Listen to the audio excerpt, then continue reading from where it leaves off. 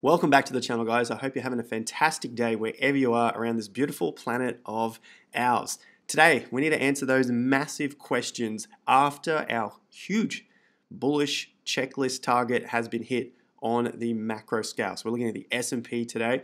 Also updating Bitcoin. We'll update Ethereum on that recent pump after the CPI news. And of course, I'll dive into a, the details of the news just a little bit more using the market sentiment.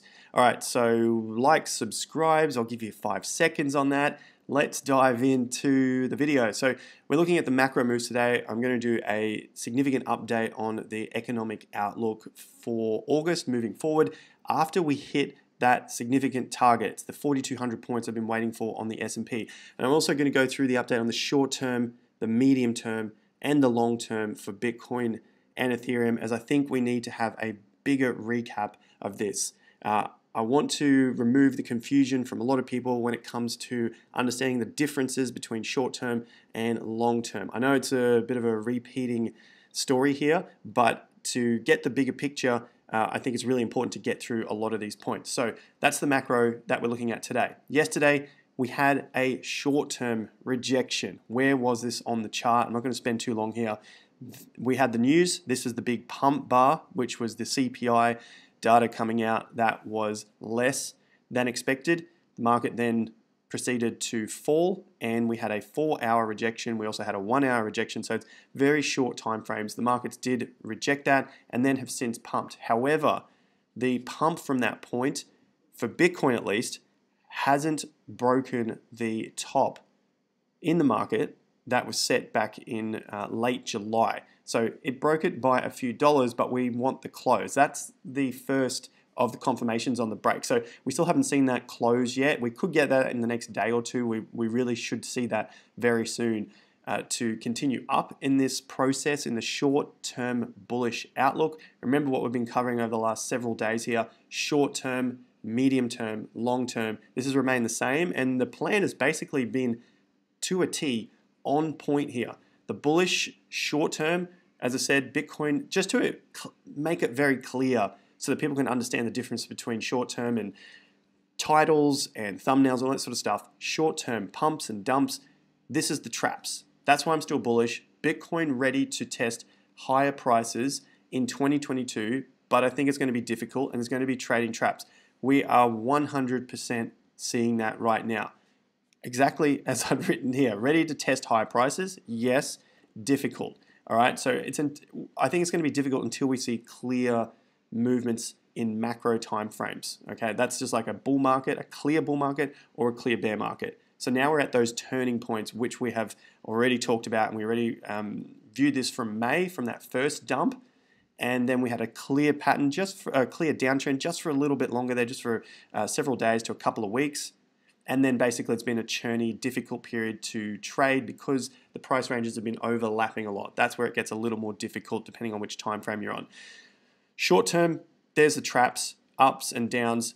One other point to note here with trading plans for Bitcoin price, what is happening with the buyers and the sellers, the whales, the manipulation, if you want to call it that. Of course, everything is manipulated. So if we get stuck into that whole manipulation, it's a waste of time the pumps and the dumps. This only came back to about 50% of that news, right?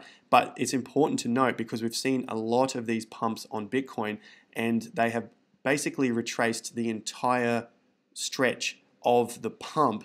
So they are good trading opportunities, but we've been able to take profits quite quickly on those pumps because the market then we have to take profits quite quickly because the market then retraces. Check out this pump here. So we're looking at the pumps on big news uh, you can see that the volume has increased and it's increased again at the peak and then has retraced the entire move of these two bars. Yes, this is on the hour, but it's the same pattern that happens time and time again. So we're trying to learn how to trade these particular pump bars because of what history shows.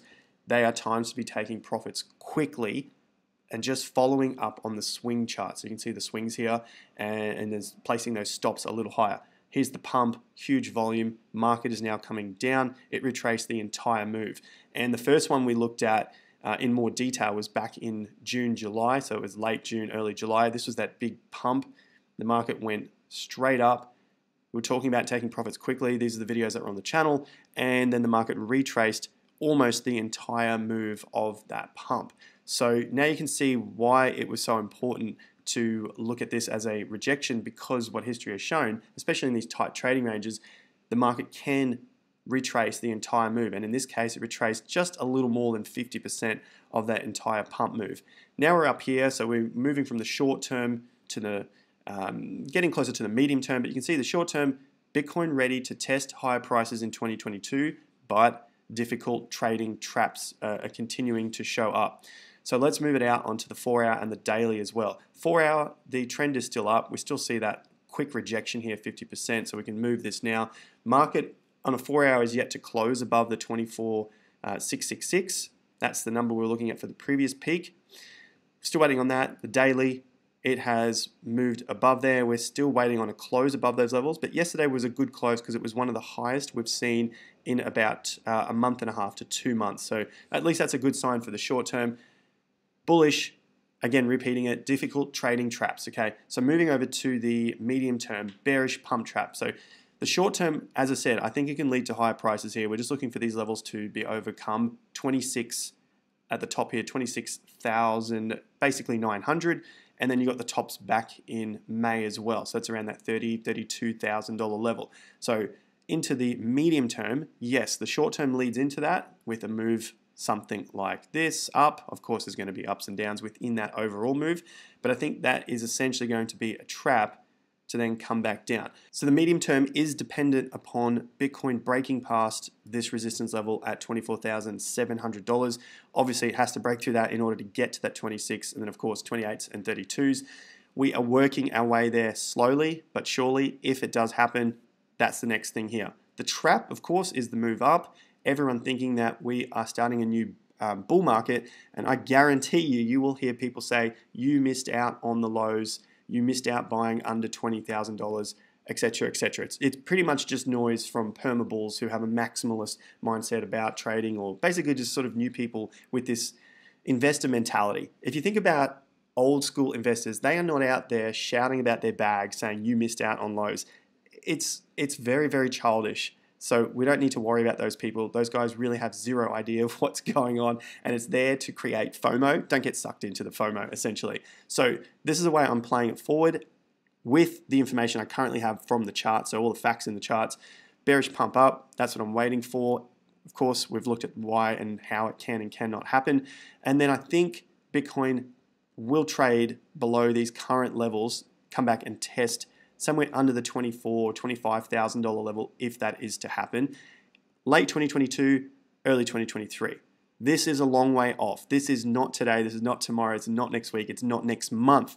This is many, many months off, okay? The long term, this is looking at the multi, multi months into years. Long term bullish, Bitcoin will see another major bull market before 2026.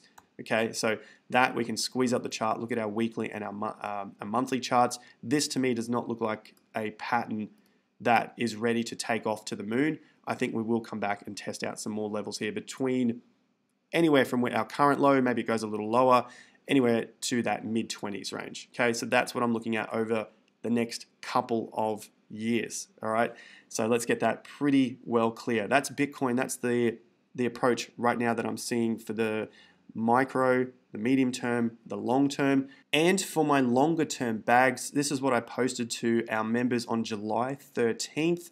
I was buying Bitcoin uh, a quarter here. This is for the long term portfolio at a value of $19,700. If you want to join the members, check out the links in the top of the video description. Sure, it's a shill for our education, but this is really where the rubber hits the road, learning how to trade and fill up those investment bags. So 19,700, you can see here, this is from my Swyftx account, um, 7,500 AUD, that was the purchase there, and I also purchased a little um, earlier there at a similar sort of price back in uh, June as well. So that's basically half a BTC to add to that long-term bag at a AUD price and a USD price, around just under that $20,000. Back over to the S&P. This is our major target price range that we are looking for that it hit. We got there. We're about 11 points above. This is great news for the longer term. This is the macro setup here because we are looking at the weekly chart the reason I look at this is to give us an idea of the outlook for the whole cycle because Bitcoin is still working in with the financial system and it's actually tying in tighter and tighter with the traditional financial system, especially when you look at something like Coinbase, purely just looking at the volumes of who is trading this market. The market is being traded during the week, Monday to Friday. These lower volume days are basically the weekend almost every single time or US public holidays. This tells me that it is pretty much tying in very much with traditional markets. They're not trading on the weekends as much as they do during the week.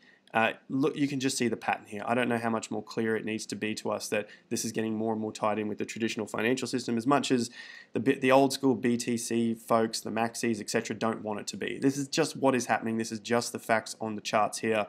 I can't change these volumes, okay? So back to the S&P, we've broken above that. We have our overbalance in price.